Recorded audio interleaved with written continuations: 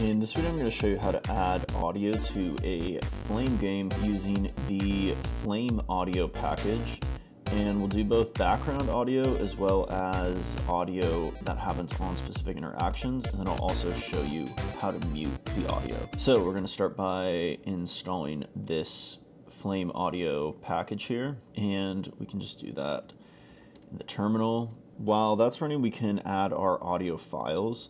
So under assets, we already have an images folder. We want to add a new folder called audio, and then we can drop in audio files. I already have a few downloaded here, so I'm going to drop all these in, which are going to be actually all the audio files I end up using in this game.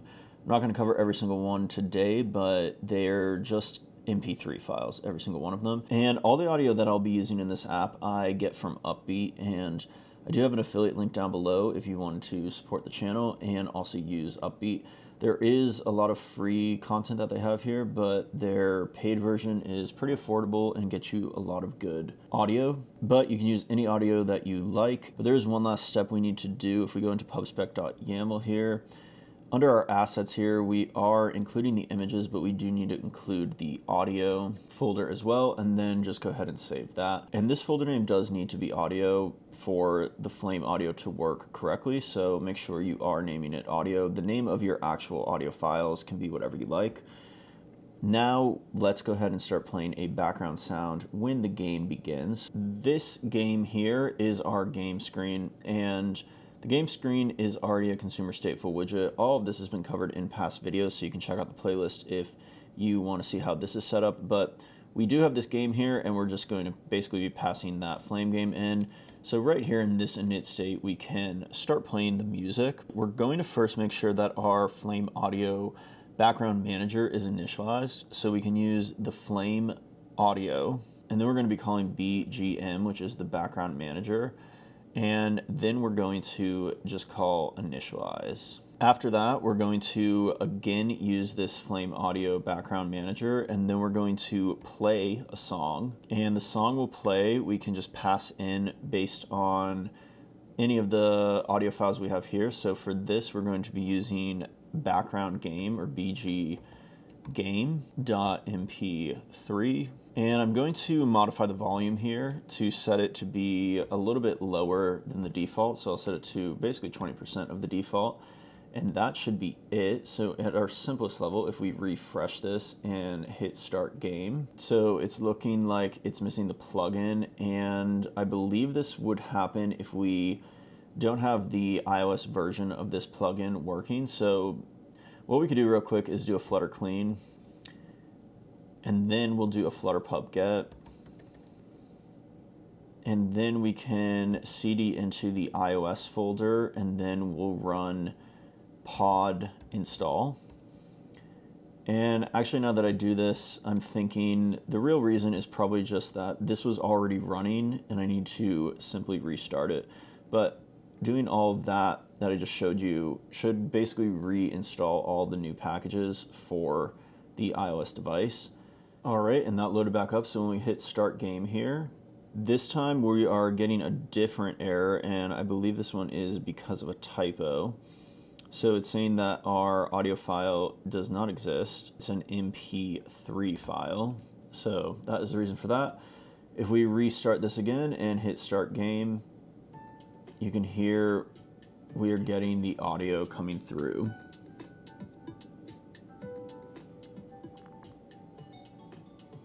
Now this audio is going to continue playing regardless of the game over state. So if we want this audio to stop, we need to actually stop it. So on our game in screen, and let's see if we can just turn that volume off. So on our end callback, we could actually turn the flame audio off using the same flame audio BGM, and then we can call stop. So if we save this now and we do want to turn our volume back up on the device, if we start the game when it ends now, the audio will stop. You might want to play a different song when you get to this game over screen, and if you wanted to do that, instead of stopping it here, you could just play a completely different song for the background. So I do have a BG end So I'm going to use that instead. And now if we were to rerun and play this, we get this sound starting and then the game ends and we have kind of a sadder end state game sound. And then we could do our main menu, set this to be no music or some other sound. Right now, I'm just going to leave it that the music stops when the game isn't playing.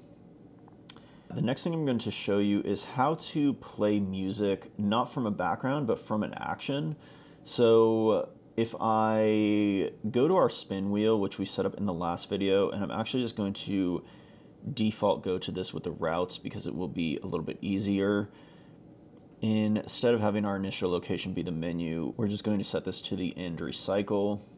And here's our spin wheel here, and you can see it would be cool if this had a nice sound effect while it was spinning.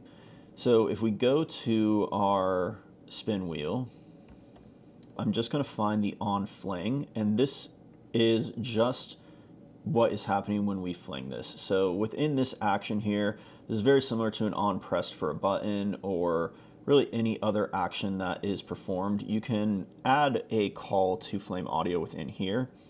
So right within here, actually I'll do this initially. So I'll do this first and we're just gonna call flame audio dot play and then we're simply going to give it a file which I do have a spinning file called spin, and that is an MP3. So now if we save this and we spin this, you can hear, we get that spin audio played, and then it's over. This one, with a direct play, you don't need to worry about stopping it because it's just going to play the whole sound, and then it will be done. So these sounds are much shorter. You can see that's a five second sound. Those are the two main ones you'll use with Flame Audio are the background manager and then just general play. The last thing I want to show you here is how to actually allow the user to mute all sound. So basically having a mute button that is going to cancel out all the sound regardless of the volume settings on the device. So to do this, we'll create a new button widget and we already have a widgets folder. So within here, we're going to add a new file and we'll call this the mute button. And I'm going to just drop in the code for this and then I will explain it. Here is the code, which is not fully set up because there is another thing we need to do. But it's a simple button that takes a current song parameter, and this is optional. If you pass in a song to it from the state being mute to not mute, then it will start playing that song. And this would be useful if on this page here we wanted to play music, we could unmute and then just play whatever song we pass in. Or if we use the mute button on a different page, we can pass in a different song for that background song. And now we're gonna have this variable here called play sound. And this is going to be watching a provider which we have not set up through RiverPod. And this is going to hold the state of whether or not the user has muted their sound. And we're going to be using this provider, but we're also going to be using Hive to locally store this. Now, Hive is one option to do this, which I've talked about and have been using for this app. You can also do this with other methods such as a database or if you are using shared preferences or some other local data store.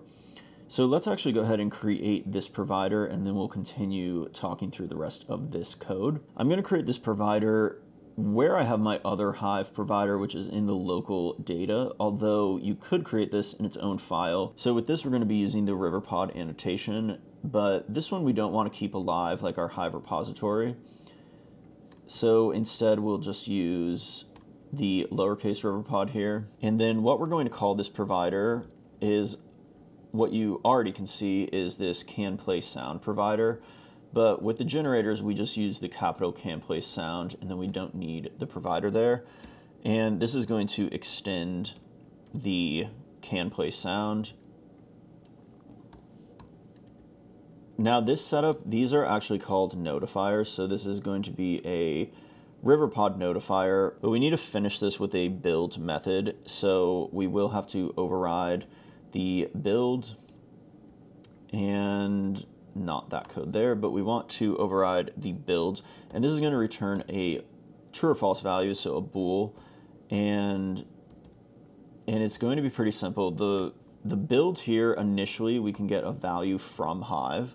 So we can go into that box, which we actually won't have direct access to because we're outside of the Hive repository. So we can just go to our box definition up here and we can continue to use the game data box, but depending on your setup, you might choose to use a different box instead of the game data box, maybe maybe like the game settings and the only difference that that would make is if you're doing the reset game clear, it would hold your game settings without clearing them, but I think it makes sense to clear this and make the music play again if the user resets the game. So within here, we're going to get a value for play sound, which of course by default is not going to exist. So we can set a default value to false. This should work. So if we save this, our generator will run, although we do need to turn on the generator. And we would do that with the dart run build runner with a watch of D. And that should generate our new provider for us here. And I do have a typo here, so build is spelled wrong. So make sure that that is spelled correctly. And I actually also have an error up here. So it's underscore dollar sign. And if you run that, then we should get that updated there. Also, the default value here I want to be true. So by default, I want the, the music to play. And then I want to add a function here, which we can call on this provider to toggle the volume on and off. So we'll simply call that toggle. And what we're going to do here is look in Hive to see what that value is. So we're essentially just going to get this exact same value and we'll set that to a variable called can play. Then what we'll do is we'll update our Hive box of the game data and we'll change our play sound value to be the opposite of our play sound value. So it will just be the opposite of what it currently was set to. And then lastly, we're going to update the state of this notifier of this can play sound notifier to equal also the opposite of its current value. So this state thing here might be a little confusing if you're not too familiar with Riverpod, but basically all it's doing is going to set the state of this notifier, which is this can play sound provider, from being whatever the default was in the build so the build might be true, it might be false, and that will basically be setting the state. So the build is going to set that initial state. You can almost think of this as like an init state of a typical Flutter widget. And then anytime we call this function, it's going to change that state, which is going to be the bool or the state of this provider to be the opposite of what it currently was. So if we go back into our mute button, we can now use this provider, which we do need to import, but we can watch it here and we're watching this play sound and then what we're doing is we just have a button here which is an icon button and when that's pressed we're going to be checking if the play sound which we actually don't need to re-read here we can just say if the play sound is true then we're going to stop the audio and set the play sound to false which outside of our if else here, we are always going to be setting it to false or basically setting it to the opposite of what it was because we're going to be calling that toggle, which is going to switch it. And do notice here that we have to use the notifier to call toggle, but we don't need to use the notifier just to get the state value of that can play sound provider. This else here would just be if the play sound was false, and then we can start playing the song. And if a current song was passed in, then what we're going to do is just play that similar to how you saw before using that background manager. One other thing that we might want to add here actually is to go into our game screen and add this initialization again, because we don't we can't guarantee that this is going to be initialized depending on where in the process this is called. But that's it. Now this mute button should be working. All we need to do is add it to the screen somewhere. So let's go to our menu. And on our menu screen, after the reset game button, we'll just add a, another button, which will be this menu button. And we're not really gonna worry about styling it too much now. We'll just add it there below. And if we go back to our router now, we can change this back to use our menu as the, the home screen. And currently this is what we would expect. The audio is not muted, so we are seeing the icon of not mute. if we do click this, now we would expect the stuff to be muted. However, we didn't actually check everywhere if we're muted or not. So the button state is looking good and it looks like we're muted. And if we do refresh this, the state does persist and that is because we are saving it in Hive. However, if we do go play the game, the music is still playing. So there is one last step we need to do here, and that is wrap all of our instances of playing this flame audio in a quick check using that provider. So we can do an if statement here, and we can do an if ref.watch, and then we can use that can play sound provider. And we can say if this equals true, then that means we can play the sound, so we will add these items in here to play the sound. And we currently are only playing right here and also in our wheel. So we'll also add that if statement there. And you would want to add this to any area of your app where you are playing any music. So we do have one issue here, and that is we don't have ref available in our wheel state. And that's because this is a stateful widget and not a consumer stateful widget. So we can quickly change this to a consumer stateful widget, which this will then become a consumer state, and we can import Flutter Riverpod, and this will be a consumer state, and now we should have access to ref.